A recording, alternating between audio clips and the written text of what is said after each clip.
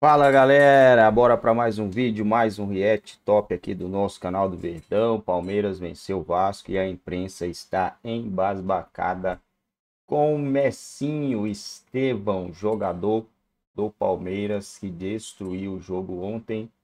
Debate aí se ele é melhor ou pior que o Hendrick. Eu acho que tecnicamente ele é muito melhor que o Hendrick, mas cada um no seu quadrado, né? O Hendrick tem ali o seu estilo de jogo, o Messinho tem o seu, então cada um no seu no seu lugar aí, né? Os dois são bons. Eu acho ele melhor que o Hendrick.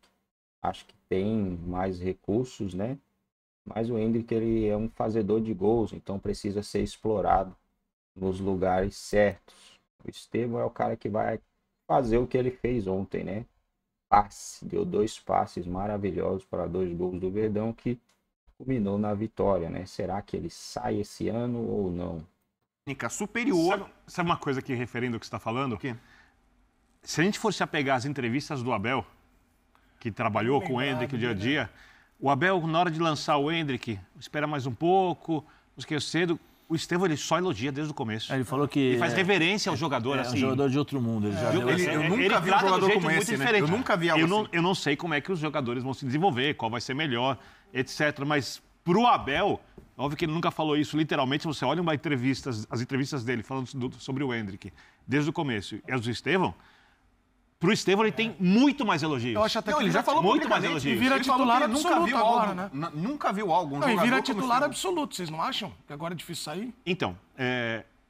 vamos ver como é que o Dudu vai voltar. Tá. O Dudu tem de ocupar o outro lado, né, o lado esquerdo. O Felipe Anderson vai jogar. Vai jogar. E ele ocupava muito mais, jogando na Itália, o espaço que ocupa o Estevão. Apesar de ser um jogador muito versátil, que pode jogar por dentro. Na primeira fase dele na Lazio, jogar pela esquerda mais também. É, é, na volta, mais pelo lado direito. Eu acho que ele pode jogar em qualquer lugar ali. Tem o Veiga. É, nós estamos falando já de quatro jogadores, né? E aí tem atrás o Zé Rafael, tem o Aníbal e tal. É, não sei o que vai acontecer ali. Não sei o que vai acontecer ali. É óbvio que se o Estevam mantiver esse nível e for evoluindo, não dá para tirar. É. Até porque tem a característica única do mano a mano, do drible, do cara que desequilibra, né? O Felipe Anderson entra onde? É Nesse pacote vai jogar sem centroavante? Vai o Rony para quem vai ser o centroavante? O Pavel vai jogar com centro, sem o centroavante, com o jogador flutuando, entrando na área. Às vezes eu não sei o que vai acontecer. Eu só sei que se esses jogadores estiverem bem, a gente olha para um Palmeiras agora, mas quando todos estiverem à disposição, a gente olha para outro Palmeiras. É para outro mundo, para outro tipo de clube com jogadores que estão se desenvolvendo, com o Felipe Anderson chegando, jogando muito e vai saber se o Palmeiras não vai atuar ainda mais na janela de transferência. Ontem, aqui neste programa, nós tivemos uma pergunta feita a um componente da mesa, Rafael Marques, que era a seguinte: você assinaria, assinaria o um empate? Pô, fica com o empate, tal, para não jogar já fica com esse empate. Ele disse sim, de olhos fechados com a mão esquerda. Mas isso é uma resposta vascaína. Palmeirense não assinaria. E aí, você veio comentar hoje só com isso aí? Não, eu só vim só dizer que eu avisei.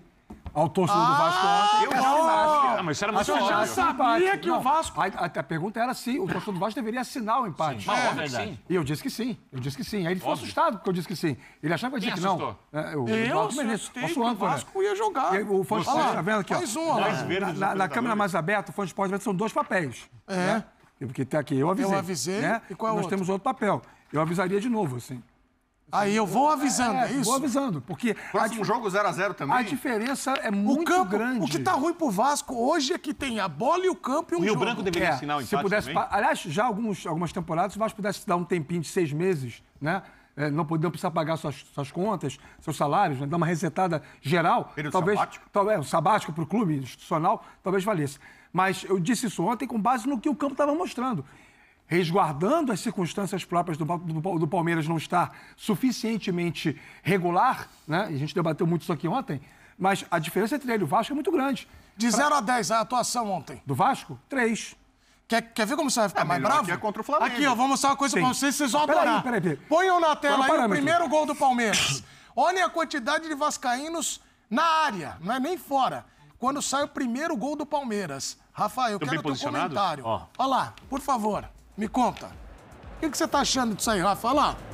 Vai fazendo a matemática. ó. Um, dois, três, quatro palmeirenses. Foi um contra-ataque. Tecnicamente é um contra-ataque. Ó Não, quanto. foi, foi um contra-ataque. Foi uma bola do Vasco, né? E o Everton tocou a bola, saiu lá de trás tocando. Muito bem executado. O, o Vasco faz uma, um- tem uma recomposição Tem dois é, razoavelmente bem feita, porque se tem muita gente voltando a tempo. Ó, só tem o Verrete fora da área depois quando Sim, terminou nas... mas, mas ela, é, ela, é, ela é fisicamente bem feita, mas ela é, é, geograficamente mal feita, porque Ó. a distribuição das peças não é adequada. Tanto que o, o Piquerez deriva da esquerda para dentro e bate de direita.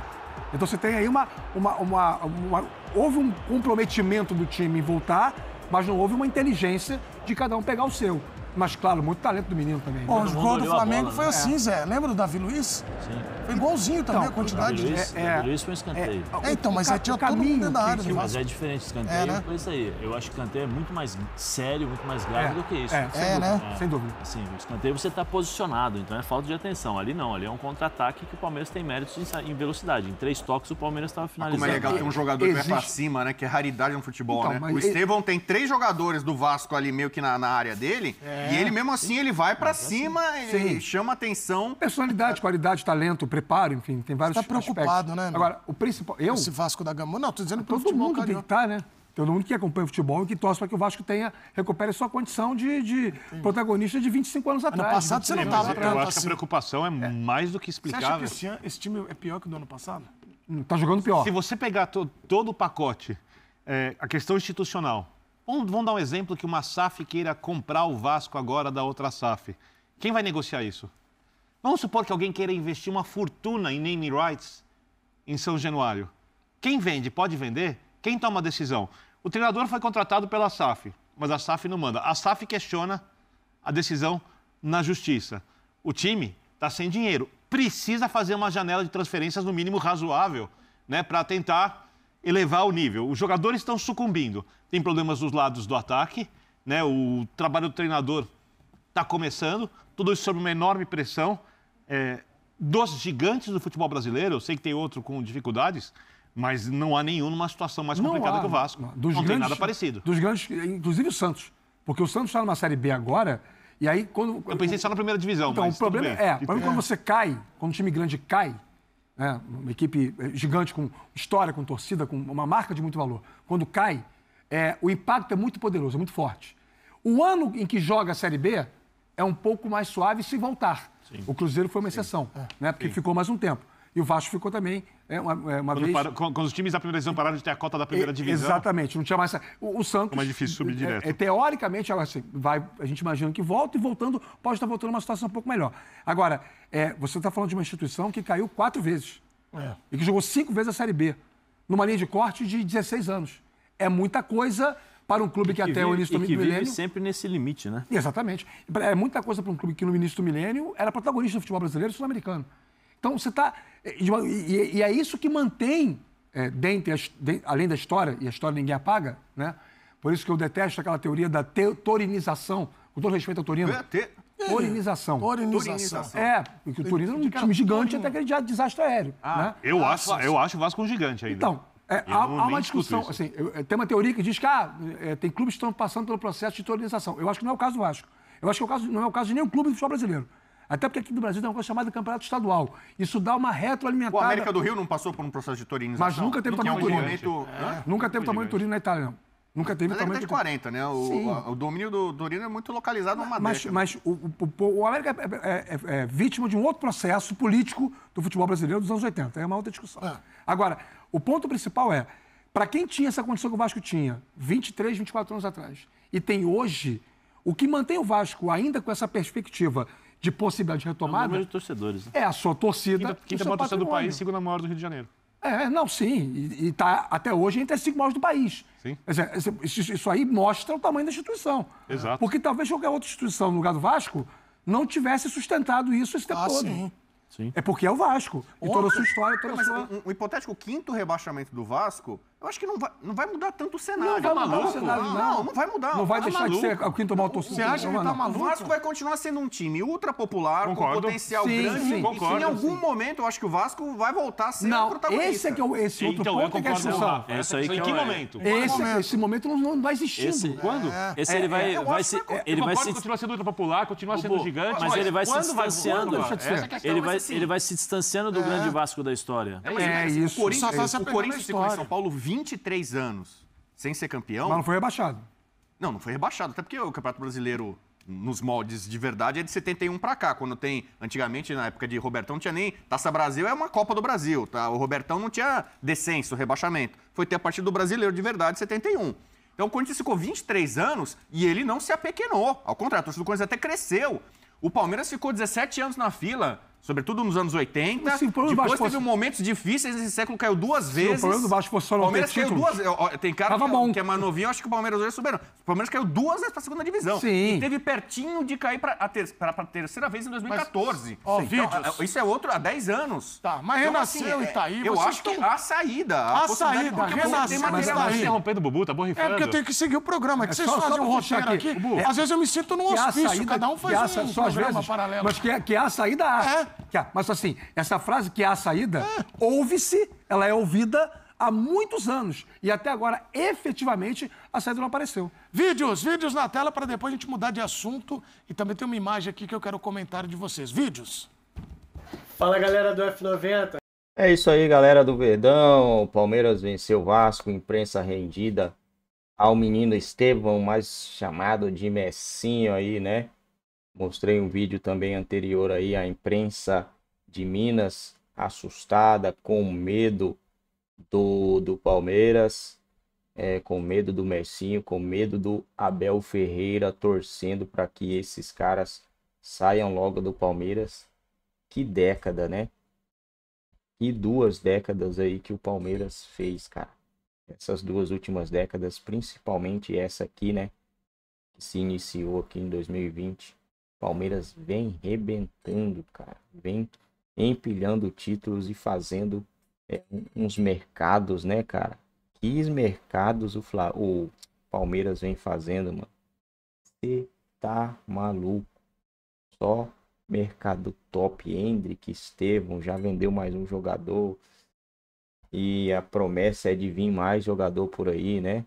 Palmeiras é, cara, é inexplicável o que esse time do Palmeiras vem fazendo aqui no, no nosso continente, né? Uma máquina em todos os sentidos, dentro e fora de campo. Palmeiras vem sendo uma máquina dentro e fora de campo e vem sendo aí exemplo para os demais, porque o Palmeiras ele não é dono nem eu acho que nem da quarta maior torcida, né, do futebol brasileiro, né? eu acho que deve ser da quarta. Porque até onde eu sei, eu não fico pesquisando isso daí, né? Mas até onde a gente sabe, Flamengo, Corinthians, São Paulo e a quarta deve ser o Palmeiras, né? Flamengo, Corinthians, São Paulo e Palmeiras. E mesmo assim vem fazendo estrago e que vem que está fazendo. Ah, o que, que torcida tem a ver? Torcida tem tudo a ver, cara. Tudo a ver, né? A galera às vezes pode achar que não, mas torcida é que gera ali o papel, né? Gera renda para o time, gerando renda para o time, automaticamente o time consegue mais dinheiro e conseguindo mais dinheiro consegue fazer as melhores contratações e o Palmeiras vem conseguindo fazer isso sem ter a maior torcida, né? Vem envergonhando aí os dois maiores, as duas maiores torcidas do futebol brasileiro, que é o Flamengo e o Corinthians. O Corinthians nem se fala, tá numa situação aí catastrófica, né? Mas é isso aí, galera. Vamos ficando por aqui. Não saia sem deixar o seu like. Se ainda não for inscrito, se inscreva em nosso canal. Deixe seu comentário, sua opinião, que acham aí do Estevão. É melhor que o Hendrick ou não?